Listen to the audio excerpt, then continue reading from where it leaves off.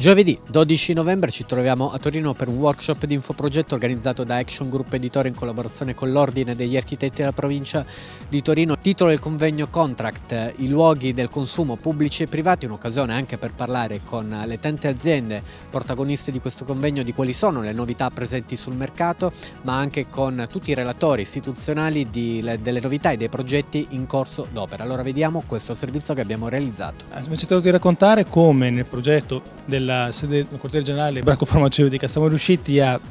realizzare quello che era stato condiviso col cliente in fase di concorso. Questo attraverso anche una gestione di quelli che sono stati gli appalti che hanno visto uh, concentrare in un unico general contractor quelle che sono state poi le attività di um, presa in carico e realizzazione dell'opera, ma realizzando delle gare parziali dedicate ad ogni singola uh, categoria di opere, questo per riuscire a, uh, ad avere il controllo su non solo una scelta rispetto al prezzo, ma qualità e prezzo di ogni singola fornitura, pavimento, controsoffitto,